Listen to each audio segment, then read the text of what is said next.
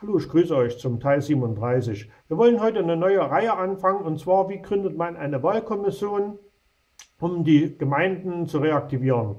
Und dazu müsste ich erstmal ausholen, wozu brauchen wir denn die?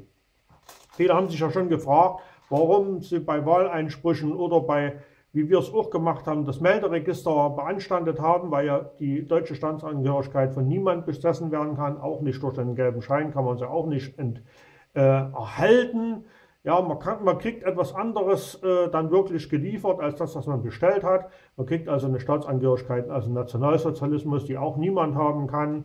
Und die Staatsangehörigkeit, die uns zusteht, die Bundesstaatenangehörigkeit, die bekommen, bekommen wir nicht, weil dann die Bundesrepublik überhaupt nicht mehr für uns zuständig wäre, weder uns Strafzettel noch irgendwelche Verwaltungsbescheide äh, schicken dürfte, weil wir dann einfach exterritorial wären. Und diese Freiheit, die uns zusteht, auch äh, da es keine echte Wiedervereinigung gegeben hat, sondern im Prinzip sich nur die Verwaltungskonstrukte vereinigt haben, was so viel Bedeutung hat, wie es in China das Reichsumfeld. Eine Staatsvereinigung hat es nie gegeben, weil der Staat ja nie geteilt war. Der Staat selber ist in den Grenzen 1914 definiert. Konkret sind es die Grenzen vom 28.10.1918, weil an diesem Tag der Kaiser weggeputscht worden ist. Und zwar durch die Weimarer Republik.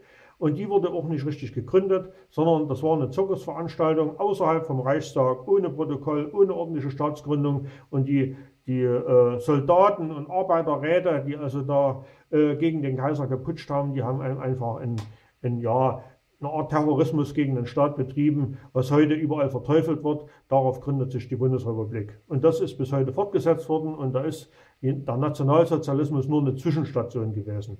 Heute werden 17 äh, Gesetze des Nationalsozialismus in, im bundesdeutschen Gesetzgebung fortgesetzt und da wird auch nicht drüber geredet. Es wird zwar ein Kampf gegen rechts gemacht, aber die ganze äh, nationalsozialistische Gesetzgebung wird fortgeführt. Und das fängt beim Einkommensteuergesetz an, äh, geht weiter über die Abgabenordnung bis zur Schornsteinfegerordnung, bis zur UWEG, wenn man so will. Das sind alles Fortsetzungen des nationalsozialistischen Gedankenguts. Wenn man so will, ist es Faschismus im Sinne der Mussolini-Definition. Ne? Also wenn also eine direkte Verknüpfung zwischen Wirtschaft und Politik besteht, spricht man von Faschismus. Das hat also nichts mit Hitler zu tun, sondern es ist eine, eine Erscheinung, die es äh, bereits im Altertum gab, also dort, wo starke wirtschaftliche äh, Interessen die Politik beeinflusst haben. Einfach weil Steuergeld vorne und hinten nicht gereicht hat. Und das ist im Prinzip seit dem römischen, seit der römischen Dekadenz ist das so eine Erscheinung, die immer wieder mal in der Weltgeschichte auftritt. Und äh, momentan die Frau äh, die Regierung Merkel befällt und äh, in große Probleme bringt.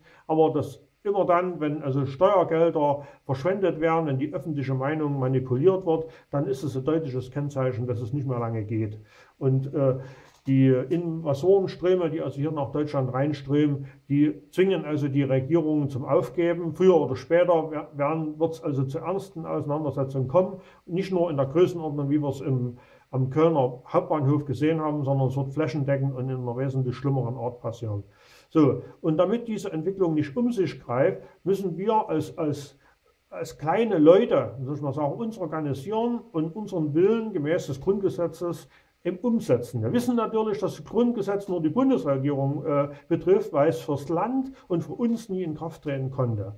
In der HGO Artikel 43 ist beschrieben, dass das Landesrecht gilt. Und zwar gilt das immer dann, wenn die Kampfhandlungen eingestellt sind. Ne? Für Deutschland sind die Kampfhandlungen 1955 eingestellt worden, also müsste dann 69 Tage danach eine Verfassungswahl stattgefunden haben. Und wenn wir eine Verfassungswahl gemacht hätten, würden wir heute nicht einem, uns mit einer Regierung Merkel und völlig unfähigen Politikern rumärgern müssen, sondern wir hätten einen Verwalter, der das Kaiserreich verwaltet. Man nennt diese Verwaltungsfunktion Verweser und dieser Verweser wäre berechtigt, Gesetze auszufertigen und zu unterschreiben. Alle anderen dürfen es nicht.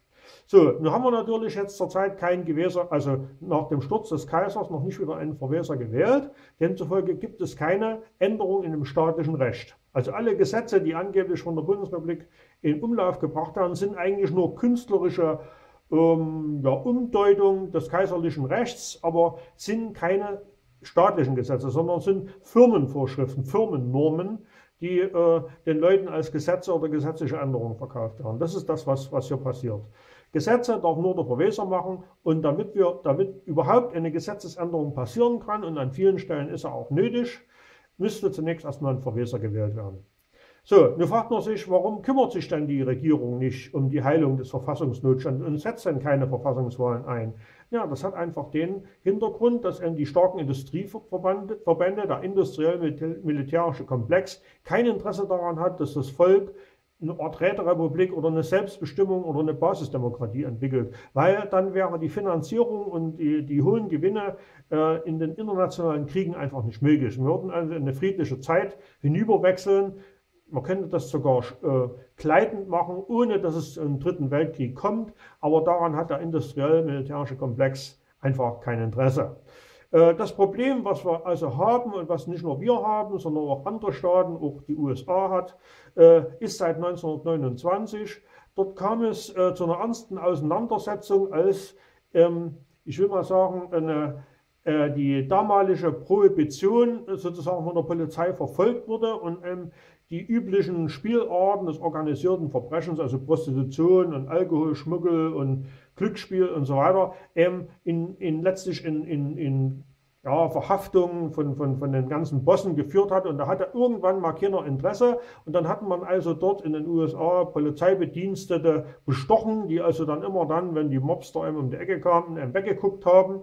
Und ein typischer Fall ist das sogenannte Laus von Newark. Das ist ein, ein Stadtteil in den USA. Und dort war eben so ein Polizist, der einem da bestochen wurde. Der ist dann auch aufgeflogen, aber es ist ja nur einer gewesen und es gab eine riesengroße Menge davon. So, und irgendwann hat man gesagt, die ganzen Verhaftungen und so, die gehen eben den Mafia-Bossen irgendwann auf den Zeiger. Und dann haben sie sich also mit der Regierung verabschiedet, äh, äh, abgesprochen, dass sie eben in das Management der Regierung wechseln und dass die Strukturen des organisierten Verbrechens über die Freimaurerei sozusagen in die, in die Leitungsfunktion des Staates übergewechselt sind. Und seitdem besteht sozusagen eine Staatsreligion der Freimaurerei in den USA und auch in Deutschland. Das ist im Prinzip äh, der, der 29. Ähm, 1929 äh, äh, der, der Valentinstag sozusagen die Gründung der, der, der, Mafia in der Regierung. Das ist in Italien so, das ist in Deutschland so, das ist in den USA so und in, in, in es war auch zu Zeiten der Sowjetunion in Russland so. Und äh, durch, den, durch den wirtschaftlichen Niedergang der Sowjetunion ist es dort aufgebrochen. Wir haben also dort eine Föderation, wo versucht wurde, den, Eingang, äh, den Einfluss des organisierten Verbrechens zu unterbinden. Und in Deutschland ist das nicht gelungen, weil die Leute sich einfach nicht wehren. Und momentan sind wir da dran, dass Gesetze auf den Weg gebracht wurden, beziehungsweise auch beschlossen wurden von der Bundesregierung, um den Leuten das Eigentum zu stehlen, also den Besitz an Grund und Boden. Das wird also spätestens 2000 2017 passieren, also 100 Jahre nach der letzten Eintrag in der Mutterrolle des Katasters, was zurzeit in, in Krakau unter Verschluss ist, damit eben in der Bundesregierung keiner drin rummalen kann und der originale Eigentümer noch festgestellt werden kann. Dann äh, äh, der Entzug sämtlicher bürgerlicher Rechte, dass du überhaupt äh, vor keinem Gericht mehr Recht kriegst. Einen gewissen Teil haben wir ja in der Bundesrepublik schon, dass es kriminelle Strukturen gibt, die also nicht mal offiziellen Wahlbetrug, weil eben die Staatsangehörigkeit oder auch der Geburtsname manipuliert wurde, um also die, die, die deutsche Herkunft zu bestreiten. Da kriegen die also irgendwas eingetragen und kriegen ein Personalstatut verpasst, wo sie weder mit einverstanden waren. Dann wird die Unterschrift mit dem elektronischen Pad gestohlen und damit äh, Abtretungsurkunden für, die, für das Eigentum, fürs Auto und für die, für die, für die Staatsangehörigkeit und bürgerlichen Rechte erzeugt. Und das äh, führt zu einem Unrechtssystem, zu einem faschistischen Unrechtssystem im Sinne von Mussolinis Definition des Faschismus. Also ein Zusammenwirken von Politik und Wirtschaft. So, sodass also ein richtiger dicker Filz entsteht, der gegen das Volk gerichtet ist. Und die Situation haben wir jetzt. Und wir können uns aus dieser Situation nur befreien, indem wir wieder einen Verweser wählen, der sagt, nein, Deutschland gehört nicht zu dem internationalen Verbrechen, sondern wir wollen eine friedliche, neutrale ähm, Gemeinschaft sein mit äh, Österreich und Schweiz. Und wir wollen dieses organisierte Verbrechen nicht. Und die, die sich eben an die Spielregeln des guten gemeinschaftlichen Zusammenlebens nicht halten wollen, müssen eben mit den, mit den ähm, Gesetzen und mit den, mit den Ordnungshütern eben, äh, ja, in Konflikt geraten. Und dann werden eben dann entsprechende Richter vom Volk direkt gewählt, die sich um diese Leute dann kümmern, die es immer noch nicht eingesehen haben, wie ein friedliches und, und wirtschaftlich sinnvolles Zusammenleben funktioniert. So. Und damit wir dahin kommen, müssen wir sozusagen eine Verweserwahl im Sinne des kaiserlichen Wahlrechts überhaupt erstmal organisieren. So, und dazu fehlt äh, es, dass den Leuten, auch selbst die wach sind und die von sich behaupten, sie sind keine Schlafschafe, erstmal die Situation verstehen. Wir haben ja nun seit ungefähr ein Jahr oder reichlich ein Jahr die Pegida-Bewegung. Kennt ihr alle überall, die also demonstrieren gegen also zu viele illegale Einwanderer und die ganzen Sachen, aber das sind nur Symptome. Die eigentlichen Ursachen haben sie alle nicht erkannt. Und vor allen Dingen laufen sie eben auch noch mit Schwarz-Rot-Gold rum und diese Schwarz-Rot-Gold-Flagge gibt es im Prinzip seit dem Putsch gegen den Kaiser. Und wenn man also mit der Flagge des Unrechts gegen das Unrecht demonstriert, zeigt man eigentlich, dass man das, das Problem und, und die Ursache dieser ganzen Schwierigkeiten überhaupt noch nicht verstanden hat. Der Staat, der für uns und unsere Sicherheit und unser Wohlstand aufkommen würde, das ist nur der Bundesstaat. Die anderen sind für uns nicht zuständig. Die, die rauben uns eigentlich die nach HLKU zuständige Alimentierung, das heißt im, in der Höhe des Solls des einfachen Soldaten. So, und da gibt es die Besoldungsordnung der Bundeswehr und der einfache Soldat hat da eben dort einen gewissen Sold zu bekommen. Und das hat auch jeder, der nicht in der Lage ist, äh, aufgrund von politischer Verfolgung durch äh, bewaffneten Raubüberfall, dass sie ihm alles weggenommen haben, sich ähm, eine Arbeit zu schaffen oder, oder, oder auch einen gewissen Wohlstand sich zu schaffen, weil ihm alles weggenommen wird. Weil er politisch entrechtet ist und weil er ständig mit Scheingerichtsbarkeit und illegalen äh, ja, Beschlüssen überhäuft wird und sozusagen überhaupt kein, kein äh, sein, sein Rechten angemäßes Leben führen kann. Das betrifft derzeit ein Drittel der Bevölkerung, die auf diese Art und Weise entrechtet wurden. So, die meisten wissen gar nicht, dass ihr Auto schon nicht mehr gehört, weil in ihrer Zulassung steht ja drin, äh, der Inhaber der Zulassung wird nicht als Eigentümer ausgewiesen, also C4C. Da denkt keiner drüber nach. Und wenn Sie nämlich mal genau nachgucken, haben Sie für Ihren, für Ihren Haus und Ihren Grund und Boden auch keinen Auszug aus dem Kataster. Die haben einen Grundbuchauszug. Der Grundbuch, das Grundbuchauszug sagt aber nur, dass du derzeitiger Besitzer des Eigentums bist, aber nicht der Eigentümer. Eigentümer ist immer der, der in der Mutterrolle von 1918 eingetragen ist. Der da drinnen steht, ist immer noch der Eigentümer. Egal, was du für Kaufverträge von dem Grundstück abgeschlossen hast, das ist einfach nur Diebesgut, Hehlerware, in dem im Prinzip Nutzungsrechte auf das Grundstück von einer Generation in die andere mit Gewinnen und mit äh, ja, Bodenerhebungszahlen da irgendwie hin und her geschoben worden ist. Aber es ist alles hochkriminell, weil nur der Staat, der Amtmann, darf im Prinzip diese Bodenrechte über, übertragen. So, dann müsst ihr euch vorstellen, der Amtmann war derjenige, der wirklich Verwaltungsakte machen konnte und der auch unter Beschlüsse unterschreiben durfte. Auch äh, Richter waren im Prinzip Amtmänner, die eben in der, in der Justiz gedient haben und der Richter hat dann auch wirklich in Vor- und Zunahme unterschrieben und hat auch richtig gesiegelt nach der Siegelordnung.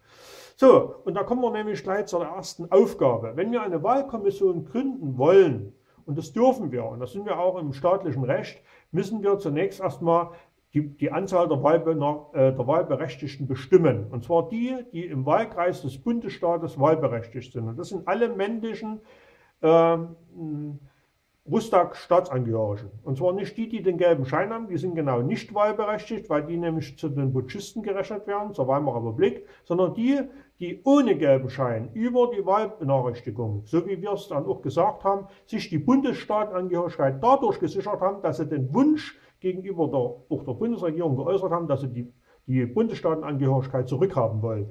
Und jetzt kommt im Prinzip hier der eingeblendete Link mal zum Einsatz. http DHNW, also deutsches Notstandshilfswerk.net, Schrägstrich Index.php, Fragezeichen, Titel, Musterschreiben. Und hier an dieser Stelle findet ihr im Laufe der nächsten Woche die Musterschreiben, wie ihr an eure Bundesstaatenangehörigkeit rankommt. Und zwar müsst ihr erstmal eine Forderung aufmachen, dann wird sich die Verwaltung der BRD entsprechend wehren und ihr müsst euch dann wieder wählen. Wieder wehren und zusammentun und eine Wahlkommission gründen, damit ihr endlich in die Bundesstaatenangehörigkeit hineinkommt. So, und die einzige Organisation, die das könnte, wäre eine Wahlkommission. Weil die Bundesverwaltung bzw. die Gemeindeverwaltung und das Melderegister sind überhaupt nicht berechtigt, eine Einbürgerung in den Staat zu machen, weil sie nur eine Verwaltung der Alliierten sind, die die Weimarer Republik verwalten. Aber die Weimarer Republik ist ja nicht der Staat. So, die erste staatliche Institution ist also die Wahlkommission. Und die ist der Verweserwahl vorgelagert, weil zunächst muss bestimmt werden, wie viele Wahlberechtigte habe ich im Wahlbezirk. Und dazu muss rauszukriegen sein, welches Siegel galt in dem Wahlgebiet am 28.10.1918. Und da gibt es ein sogenanntes Siegelbuch. Und äh, dieses Siegelbuch, ich mal sehen, ob ich es hier zeigen kann. Äh, da sind also alle Siegel gelistet, die es der Reihe nach im Laufe von einigen vielen Jahren gab. Ich gucke mal, ob ich euch eins zeigen kann, wie das aussieht. Moment, müssen wir hier blättern.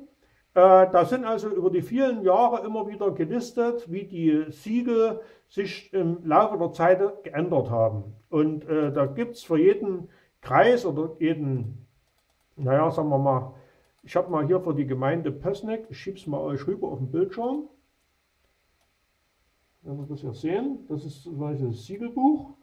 Und da seht ihr, dass hier dieses Siegel hier unten, das ist das von 1917. Das wäre ein gültiges Siegel, was auf ein staatliches Dokument gehört, um euch die Staatsangehörigkeit zu bestätigen. Nur dieses Siegel, die anderen sind alle davor. Und das andere, was jetzt später käme, wäre nicht das Richtige. Ich zeige es euch nochmal für die Stadt Ranis.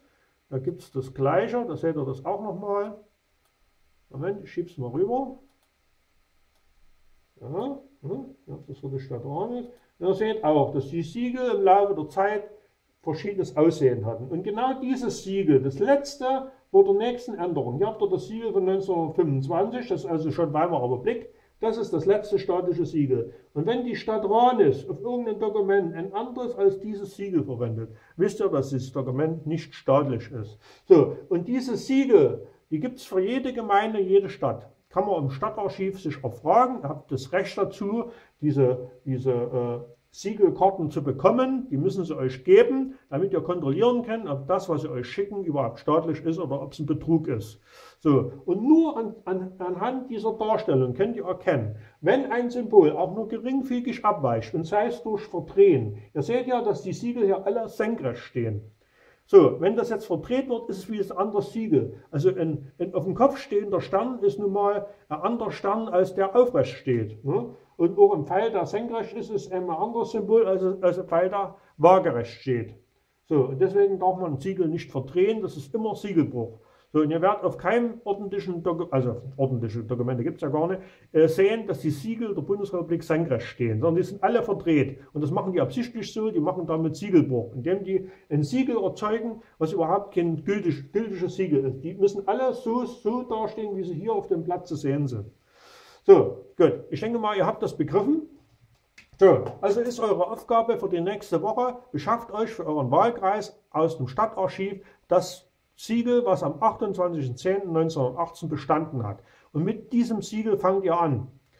So, ihr macht euch also von diesem Siegel eine, eine möglichst genaue Kopie und findet jemanden, der euch das Siegel macht. Und außen um das Siegel rum macht ihr die Schrift Staatliche Wahlkommission und äh, schreibt dann rein ähm, Notstandsrecht 1914 ne? in kleinen Lettern, so dass man oder so, das muss irgendwie reinschauen. So, und dieses Siegel, nur dieses Siegel, dürft ihr dann verwenden, um Dokumente der Rüstag-Staatsangehörigkeit zu siegeln. Denn ihr handelt im Notstandsrecht des Kaisers damit. Ihr dürft das verwenden und ihr dürft nur das verwenden. Kein Wingeres und kein späteres. Ihr müsst also genau den Zeitrahmen treffen von 1918. So, ich denke mal, ihr habt das jetzt verstanden und die entsprechenden Musterbriefe und Beispiele, die werden wir dann hier an der Adresse eingeblendet, äh, dann auch nochmal äh, mit Beispielen ja, belegen. Ich denke mal, ich lade das jetzt hoch, denn wir haben ja heute noch ein Ereignis vor. Wir haben ja wieder eine Woche rum, äh, wo Abverkauf der Staatsanleihen ist und das möchte ich dann gerne 23 Uhr noch machen und dazu müsste ich ein bisschen umbauen und mich entsprechend vorbereiten. Ich lade euch das Video noch hoch, dass ihr das noch zur Verfügung habt und verabschiede mich erstmal bis Mittwoch oder Donnerstag, wo ich dann die Sache mit den Siegeln und den, wie wir dann die Wahlkommission zusammenstellen, noch einmal genauer bringen werde. Äh, richtet euch mal darauf ein, dass wir uns in drei Wochen mal in Thüringen und mal in Sachsen treffen, um äh, die Arbeitsmaterialien für die Gründung der Wahlkommission äh, auf den Weg zu bringen. Und äh, bitte organisiert Fahrgemeinschaften vom Norden runter. Ich habe also schon zwei, drei Adressen auch aus MacPom dass also Leute, die daran interessiert sind, dass das endlich mal aufhört, diese, diese Bevormundung und diese, diese, dass, dass man das Volk überhaupt nicht mehr fragt, was es denn will, sondern einfach macht und ja Millionen von, von, von kriminellen Leuten ins Land holt, dass es aufhört. So. Und das ist das Ziel, dass wir wieder staatliche Strukturen in Deutschland herstellen wollen. So. Und ob die Bundesrepublik dann was dagegen machen will oder nicht, das ist denn ihr Problem. Wir haben das Recht, eine staatliche Struktur zu fordern und sie auch auf den Weg zu bringen.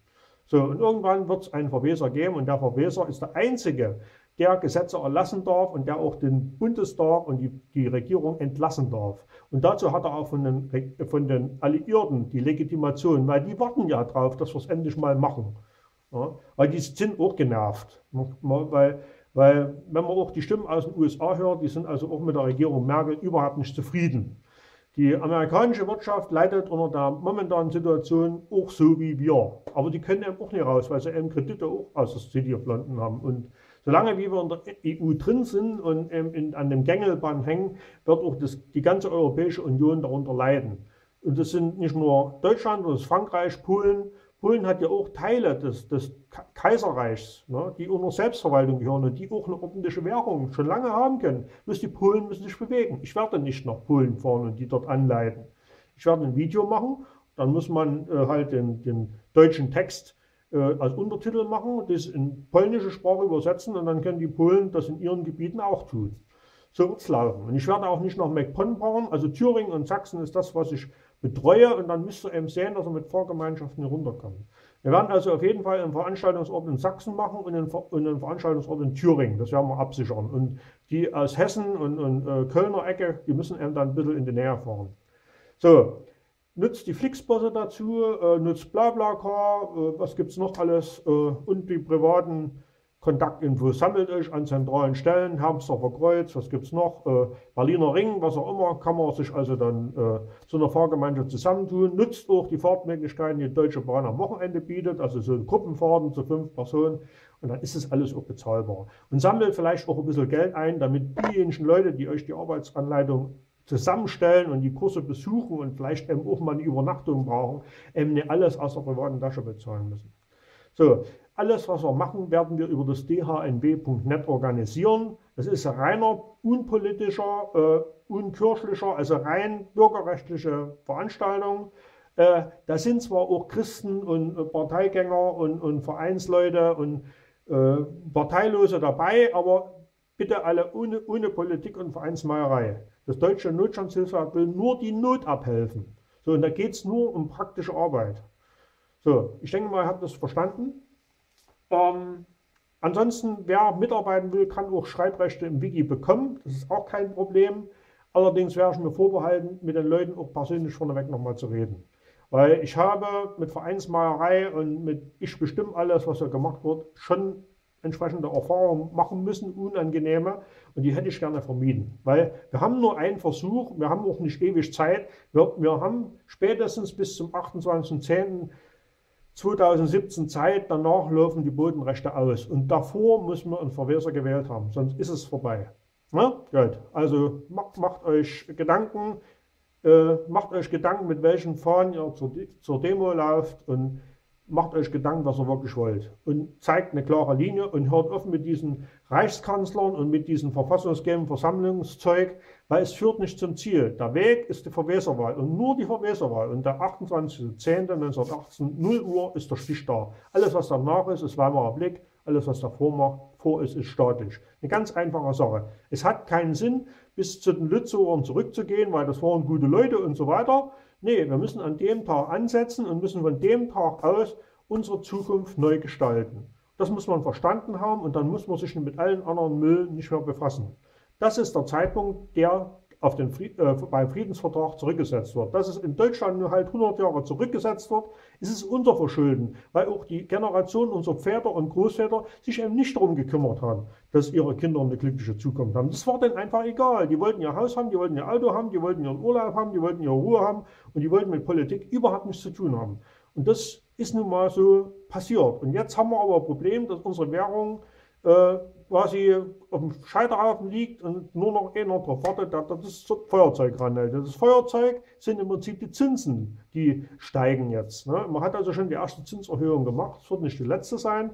Und wenn man das Zinsniveau an, anhält, dann wird man merken, dass die Leute, die also auf Derivaten sitzen, irgendwann mal das Zeug wirklich geliefert haben wollen. Und genau bei der Lieferung fällt dieses Geldsystem um. Und dann sollten wir einen Verweser haben, der sagt, Leute, wir waren nie im Euro-Mitglied, wir waren nie in der NATO-Mitglied, wir waren nie in der EU-Mitglied, wir waren immer schon Kaiserreich, bloß keiner hat es gewusst. Und in diesem Sinne verabschiedet euch in die nächste Woche. Ich denke mal, Mittwoch, Donnerstag wird es das nächste Video geben. Tschüss.